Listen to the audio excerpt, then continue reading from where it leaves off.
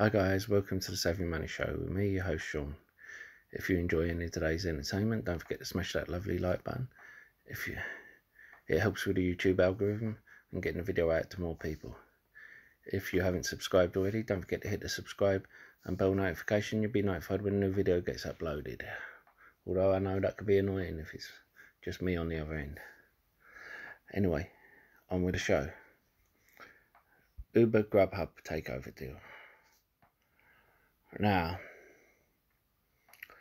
I did a video about the crash and I urge you to check that out. I've gone through some of Uber uh, growth or lack of growth and why they're reliant on the delivery side of it.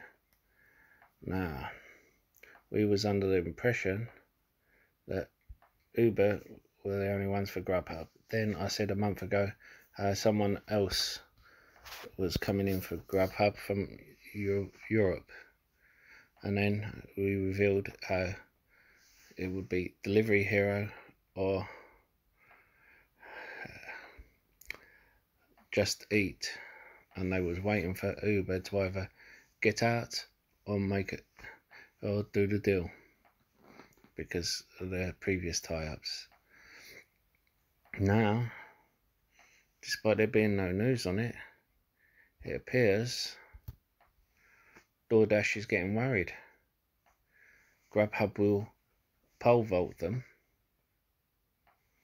So they are eyeing up financials and this is just a rumour by the way and I don't like to trade on rumours but it appears that DoorDash is considering a takeover deal for Grubhub and they are considering improving on Uber's offer.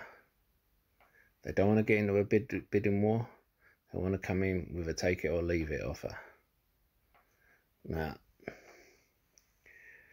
this is because DoorDash has spent a lot of time and money building their market share and they have spent a lot of time and energy uh, making them one of the biggest ones in the US and they don't want all that effort wiped out by uh, Uber just coming in and undervaluing a company like Grubhub and taking over. And as I said before, in the areas that Uber aren't strong, Grubhub are, and vice versa. So it perfectly suits them. And uh, DoorDash, DoorDash could do the same in their smaller areas. Now again, whether the SEC would allow it, because it could mean uh, DoorDash takes such a high percentage of the delivery market. They could be worried that DoorDash could then start jacking up prices, could uh, let quality go down. They would have to put in writing a legal writing contract uh, like a cap on prices, but there is already a cap on prices to get it through the SEC. And I, I think it would be a, a good fit for DoorDash or Uber. However, it's a case of who who wants it more.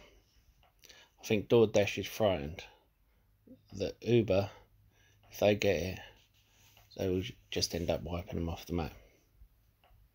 But then if you look at my original review, where DoorDash could end up taking, picking up one, the full spot one, and then be on a par with them. But DoorDash isn't the type who wants to be on a par with them. They want to be the top. And they were, they are the top at the moment. I don't want that to change. Anyway, one thing I do know is you must hit that like and subscribe button if you don't want your food delivered to you cold. Just kidding. And I'll see you in the next video. Goodbye.